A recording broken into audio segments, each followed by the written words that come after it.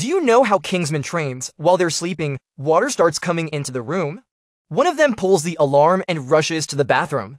They removed the shorehead and inserted the hose into the toilet, which saved them from death. But instead of following them, Eggsy swam to the door of the room and tried to open it, but it wouldn't budge.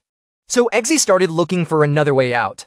He swims to a piece of tempered glass and begins to pound on it, and as Eggsy's fists fall, the glass begins to break. Finally, Eggsy broke the glass alone and survived.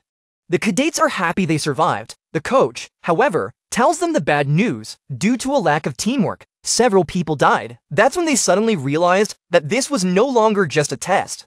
That day, they were scheduled to make a high-altitude jump to avoid radar detection, but just when they thought it would be easy, the instructor told them that one of them didn't have a parachute, and this unlucky guy was him.